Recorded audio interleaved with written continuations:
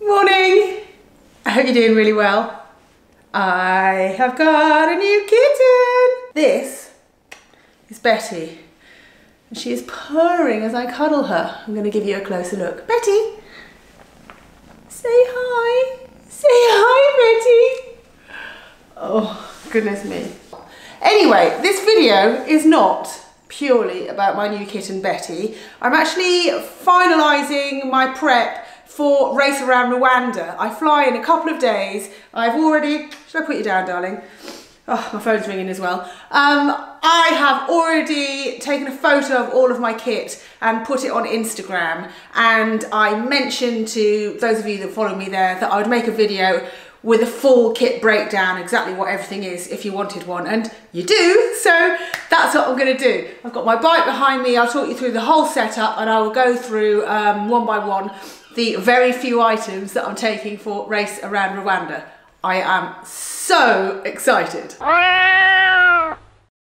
Okay, so first up the bike. This is my trusty Marin Headlands. You guys know I love this bike. I'm in no hurry to change this. It works for me, but I have made a couple of different uh, adjustments. So up the front, I have put on some gel strips underneath the bar tape, and then I've retaped with Supacaz tape that I find very, very comfortable.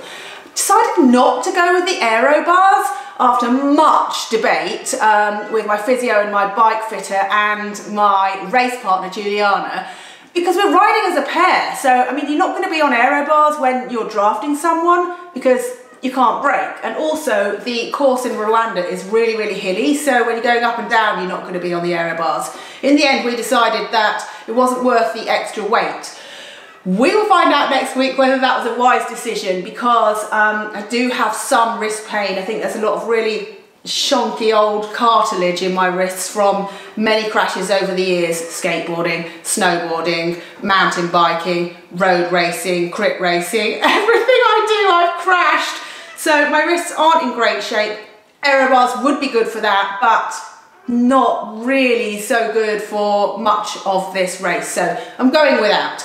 I've switched wheel sponsor, so I've got the WTB CZR i23s on here, nice ride width, wide rim, so they're really super comfortable.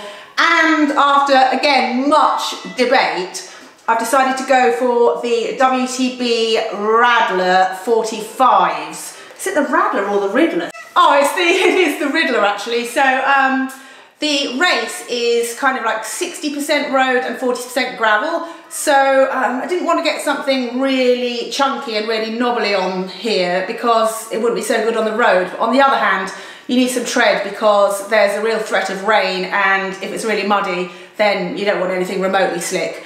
Um, I went for the 45s because that's what I'm used to riding and I think comfort's really important on long, long races like this. Uh, I guess maybe narrower would be better on the roads but I mean you're just not going to have the perfect setup for every section of the race. You just have to get something that will work for most things. So the rest of it is pretty much the same as it was before. Um, I've just changed the bag setup because obviously I'm going super lightweight because it's a race. So I've got this Apidura long top tube bag which I really like because I've got a small frame, I struggle to put a bag under there and have a water bottle. So this is perfect. It means I've got loads of space for all my bits and bobs. Up here, this is an Apidura, is it called a snack pouch? I don't know, but it's got snacks in. So at the moment, I've got a Veloforte bar, a Clif bar, some Tailwind carb stuff. I've got some goo, gels, some bits and bobs. This will have more snacks in there by the time I leave on Wednesday, but that's it for now. And at the back, I have got the Apidura, uh, why didn't I check what it's called? I will check and write it in the description. Is it the Backcountry Racing Pack or something? This is very small, lightweight and crucially waterproof so all my gear won't get wet. Should we go through the other stuff? Let's go through the other stuff. Along with the other Apidura bags, I have gone for this Apidura racing vest. It's a hydration vest that can hold two litres of water. It's got some pockets around the front so I can put my tracker in there and cash, probably maybe slip my phone in there or something, or my camera. I'm not sure. Oh, Betty's playing with the, with the hose. Betty, don't put a hole in it. I'll also have one or two bidons on my bike. Um, I haven't decided which size I'm going to take. It's quite easy to resupply in Rwanda. I think there are towns very, very often, so I probably need to take less water than I normally would on a trip like this. So with two litres on my back, maybe I don't need massive bidons on the front. Oh, Betty's just sat on my lap, she's so cute. Look. Betty! right, Betty, you will have to get off because I can't do anything with you there. But what else have I got? I have got a few bits of tech stuff. I've got memory cards. I've got a um, plug for, where am I going? Rwanda. All the different leads, including one for my lights. I've got three um, power banks. These are 10,000 each. Um, so I am denied about getting a dynamo hub, but they are kind of heavy and steal a few watts. And I thought it was easier just to take power banks. So I've got a few so I don't run out of power. I've got AfterShokz, headphones, um, so I can listen to an audio book, but I can still hear traffic and stuff like that. I quite like those. Water purification tabs, probably won't need them, but I just take them anyway. I've got my um, medication, including malaria tablets, a basic, um, very basic, I'm afraid, medical kit.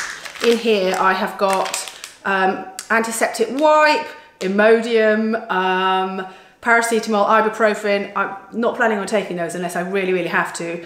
I've got some antiseptic um, cream, plasters, um, and other bits and bobs. Tools and stuff. Um, I wish I had a slightly smaller bottle of lube. This is the Silca Synergetic Lube. And I've also got some wipes for wiping my chain because, uh, well, it might rain in Rwanda and yeah, I want my chain to run nicely.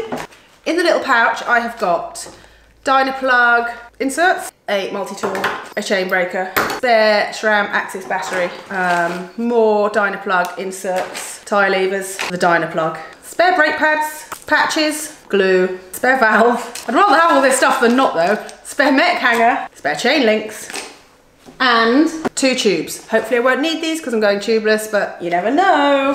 When it comes to hygiene, I've kept it super simple. Toothbrush, toothpaste, chamois cream, Sudocrem, sun cream. So I can see where I'm going when I'm racing at night. I have got this Exposure Diablo and I have got this React rear light. This is the Exposure Strada. I've got that on upside down. Does it matter?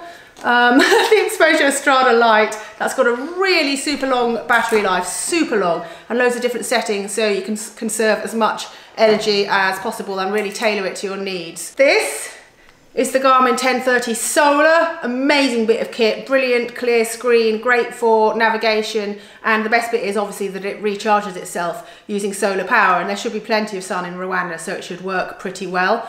Uh, I used this in Morocco, and I rode, how many days in a row? Five days in a row without charging it once. So I know this works really, really well. I will do a separate review of this if you'd like me to. Um, it was given to me free of charge, but I'm not being paid to do anything with it. I'll just tell you about it if you want me to. So what else? Oh, clothes, I suppose. Actually, I've um, already packed a few of these away. I am going to take a spare pair of shorts. Uh, these are Mission Workshop shorts. Um, not being as fit as I want to be right now, I assume the race might take a bit longer than I want it to. So uh, it pays to take care of your nether regions. So I will be able to um, rinse out a pair of shorts and put a clean pair on. If I was going to do it quicker then I wouldn't need them, but you know. I've got pants for when I get a little bit of sleep, give my bum a break from uh, the padding. Some spare socks because it is meant to rain. Leg warmers, these have got zips around the bottom so I don't have to take my shoes on and off when I want to put them on. Long gloves, because it might be cold and wet at night. Arm warmers, a t-shirt to sleep in, a down jacket.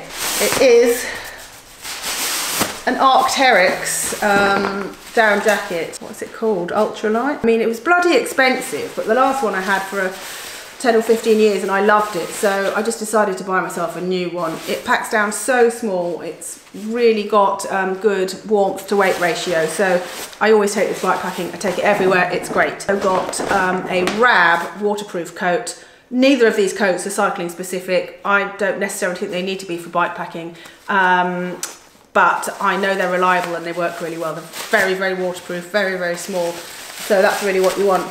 Again. I can't remember what it's called. I'm gonna have to do some research and put all the links in the description if you want to check this stuff out. I've got a buff, are they photochromatic?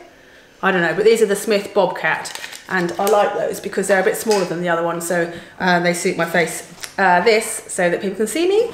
My GoPro. Additionally, I might actually take another camera. I've got my trusty Lake gravel shoes that have been nicely set up for me with the cleats put on in the right position, i.e. wonky, but that helps keep my knee tracking nicely. And finally, um, what I'm going to be wearing to race is some nice seven mesh cargo bib shorts.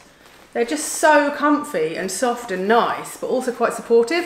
Um, and controversially, I'll be riding in a t-shirt. Now I know everyone wears jerseys, but uh, I want to wear the t-shirt, so that's what I'm going to do. I've got plenty of pockets in my hydration pack and in my bikepacking bag, so I don't think I need extra jersey pockets. I think I'll be fine. Right, I'm going to put all this stuff back in the bikepacking bag so you can see where it all fits and see that it's not actually as much, much stuff as it sounds.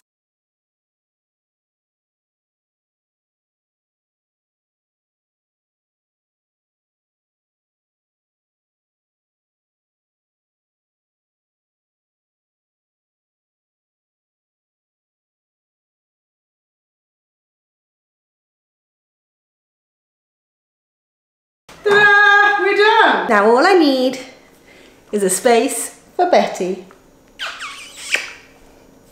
Bye.